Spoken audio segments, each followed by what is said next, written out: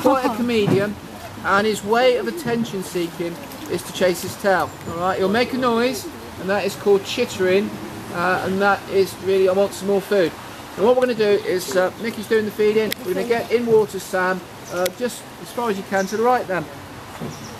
Okay, there's Sammy boy. Now what you'll do is head off in that direction. so you've got his attention over that side. And this is the dog otter, the male. Now Tegan is the pretty one here, little girly. Oh, and you can just get her in the water there.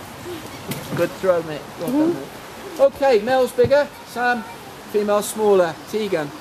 Tegan's come from Tamar uh, as a girlfriend for him. And the good news is they're getting on, which is great. Uh, the good news from you is you've got otters close up who are very, very rare. You don't normally see them in daylight and um, they are normally semi-nocturnal. Now certain areas of Britain, uh, they get established, they get pretty blasé and they get pretty used to uh, the environment they live in. And it's the same with this type of otter. Obviously, they see me as dad.